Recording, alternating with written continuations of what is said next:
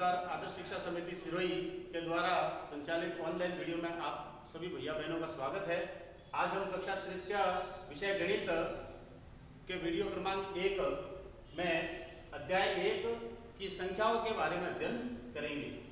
प्रकरण है हमारा पाँच सौ तक की संख्याओं की समझ। अब पाँच सौ तक की संख्याओं की समझ हमें कैसे होगी? या हम पाँच तक की संख्याओं को कैसे लिखेंगे, कैसे पढ़ेंगे और किस प्रकार सीख सकते हैं? तो उसके लिए सर्वप्रथम आपको एक से सौ तक की संख्याओं की पहचान होनी चाहिए। लगभग आपने प्रथम है, द्वितीय है अरुणोदय में द्वितीय तक, सौ तक की गिनती आपने सीख ली है। अब आपको पता है कि जब सौ तक की गिनती होती है, या संख्या होती है, उसमें एक से नौ तक तो एक अंक वाली संख्या होती है, एवं दस से निन्यानवे तक दो अंक वाली संख्या होती है। इन्हीं अंकों को जोड़कर, इन्हीं संख्याओं को जोड़कर हम सौ से आगे बड़ी से बड़ी संख्या बना सकते हैं एक से निन्यानवे तक अगर आपको संख्याएँ आती है तो आप कोई सी भी बड़ी या कितनी भी बड़ी संख्या बना सकते हैं। कैसे?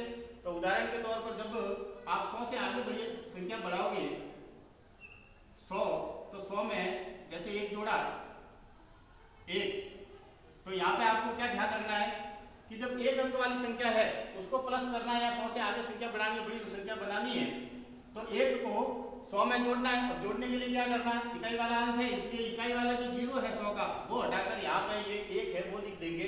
तो यह संख्या जो है, वो एक सौ एक हो जाएगी।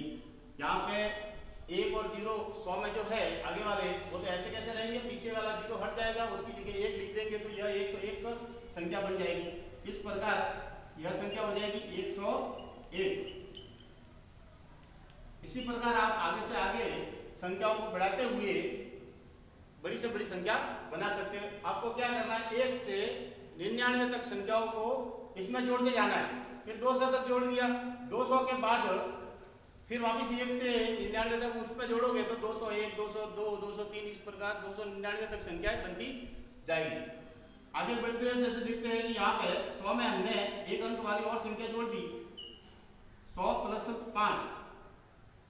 पाँच जोड़ते ये भी एक अंक है। अब एक अंक को जब सौ में जोड़ना है या प्लस करना है तो क्या करना है? इकाई वाला जो ज़ीरो है, एक ज़ीरो को हटाकर उसकी जगह पाँच को लिखना है। तो एक ज़ीरो और ये पाँच लिख दिया, इस प्रकार ये बन जाएगी आपके एक सौ पाँच। एक सौ पाँच। ऐसे संख्याओं को आप जोड़ते हुए बड़ी से बड़ी संख्या बना सकते हैं। एक और उदाहरण दे देता हूँ कि एक संख्या लास्ट जो एक अंक वाली होती है से लेकर नौ तक संख्या अंक होते हैं वो एक अंक वाले होते हैं। और एक अंक वालों को जोड़ने के लिए सिर्फ़ सौ में से, यानी दो ज़ीरो में सिर्फ़ इकाई वाला ज़ीरो है, वो आपको हटाना पड़ता है और उसकी जगह नौ को लिखना है। तो एक, ज़ीरो और नौ लिख दिया, इस प्रकार ये संख्या बन गई आपके। एक सौ और नौ। अब, ये तो एक अंक वाले थे। इसी प्रकार आपको दो अंक वाले, जैसे दस से निन्यानवे तक अंकों को जोड़ना है, उसके लिए क्या करना बड़ी संख्या बनाओगे। सौ में जैसे दस जोड़ दिए, सौ में दो अंकों वाली संख्या जोड़ दी, सौ प्लस दस। सौ में दस जोड़े तो दस दो अंकों वाली संख्या है। दो अंकों वाली संख्या जैसे जोड़ोगे तो सौ के पीछे वाला जो दो ज़ीरो है, इसको हम हटा देंगे और फिर उसकी जगह दस लिख देंगे। एक, ये दोनों जैसे हटा दिए ज़ीरो, यहाँ पे दस लिख दिए तो यह एक सौ दस अंक संख्या बन जाएगी। यह संख्या बन जाएगी एक सौ और दस। इसी प्रकार आगे बढ़ते जाएँगे। ये ढाई वाले अंक है। दो दो अंकों वाली संख्या है तो दो दो अंकों वाली जैसे संख्या मिलाते जाएँगे। भले निन्यानवे तक आप मिलाओ। तब दो ज़ीरो सौ के पीछे जो दो ज़ीरो को हटाकर दो अंकों को मिलाएँगे। इस प्रकार आप पाँच सौ तक या हज़ार तक संख्या बना सकते जैसे ये सौ है और सौ में मान लो अपन ने जोड़े पंद्रह। तो ये दो ज़ीरो हटाकर यहाँ पे एक के बाद पंद्रह लिख देंगे। यह संख्या बन जाएगी आपकी एक सौ और पंद्रह। इसी प्रकार, आगे बढ़ेंगे लास्ट वाले दो अंकों वाली संख्या बना देता हूँ। ये इसी प्रकार जोड़ते हुए आपको दो सौ तक संख्या बनानी है। तो सौ में हमने लास्ट वाला अंक दो अंकों वाला है, दो अंकों वाली संख्या वो निन्यानवे है। तो निन्यानवे को हमने जोड़ा सौ में तो दो ज़ीरो हटाकर एक के बाद दो नौ लगा दिए। ये हो जाएगी आपसे एक सौ निन्यानवे। ये संख्या बन गई आपकी एक सौ निन्यानवे। एक सौ निन्यानवे। ये तो हो गई दो अंकों वाली संख्याओं को कैसे मिलाना है और आगे से आगे संख्याओं को कैसे बढ़ाना है? अब जब एक सौ निन्यानवे निन्यानवे जोड़ने पर सौ में एक सौ निन्यानवे बनते हैं, इसमें एक जोड़ेंगे अब सौ के पीछे क्या है? दो ज़ीरो लगती है, पता है? सौ वाली जो भी संख्या हो दो दो ज़ीरो लगते हैं, तभी सौ बनती है। तो आपको पता है कि इसके बाद जो सौ के बाद जो सौ वाली संख्या आएगी, वो दो सौ होगी। तो दो के बाद दो ज़ीरो लग जाएँगे, ये दो सौ संख्या बन जाएगी। दो सौ तक हमने संख्याएँ बढ़ा दी। अब 200 के आगे भी आपको संख्या बढ़ानी है 300 तक बढ़ानी है तो भी क्या करना है? एक से निन्यानवे तक अंकों को जोड़ना है। और जोड़ते ही, ऐसे ही जोड़ते हुए आपको संख्या आगे बढ़ानी है तो बढ़ेगी। जैसे मान लो एक अंक वाली जोड़ दी अपन ने दो जोड़ दिया 200 में तो फिर मैंने क्या कहा था? एक अंक वाली जोड़ते हुए एक ज़ीरो हटाकर उसकी जगह दो लिखना है। तो यहाँ पे दो और ज़ीरो तो रहेगा, और लास्ट वाला ज़ीरो हटकर दो इसके पीछे लगा देंगे। तो क्या हो जाएगा ये संख्या? बन जाएगी दो सौ और दो। दो सौ और दो संख्या बन जाएगी। इसी प्रकार ये एक अंक वाली संख्या है। दो सौ में नौ जोड़ दिया या आठ जोड़ दिया, मान लो आठ जोड़ा हमने तो क्या करना है? इकाई वाला ज़ीरो जो है वो हटाना है। उसकी जगह आपको आठ लिखना है। ये हो जाएगी आपकी संख्या दो सौ और आठ। दो सौ आठ। इस प्रकार आप बड़ी से बड़ी संख्या बना सकते हैं। अब आपको 200 में भी दो दो अंकों वाली संख्या जोड़नी है तो उसको कैसे जोड़ेंगे? उसमें दोनों ज़ीरो हटाने हैं। 200 में 25 जोड़ दिए तो क्या करना है? ये दो अंकों वाली संख्या है। दो अंकों वाली संख्या जैसे ही आती है, उसको जोड़ना है तो पीछे वाले दो ज़ीरो हटाकर उसकी जगह को लिख देते हैं। संख्या जोड़नी है वो तो दो के बाद पच्चीस अपन लिख देंगे। ये संख्या आपके बन जाएगी दो सौ और पच्चीस। दो सौ पच्चीस। इस प्रकार आप संख्याओं को आगे बढ़ाते जाएँगे। 500 तक नहीं, हज़ार तक संख्याओं को लिख सकते हैं। अब लास्ट वाला अंक, जो दो अंकों वाली संख्या, वो भी मिला देता हो। आपको पता चल जाएगा।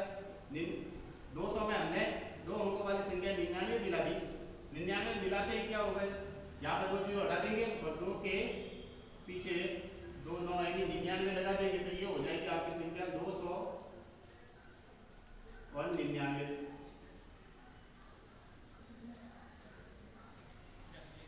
इस प्रकार ये दो सौ निन्यानवे होगी, अब इसमें एक जोड़ते ही सीधा तीन सौ होगी।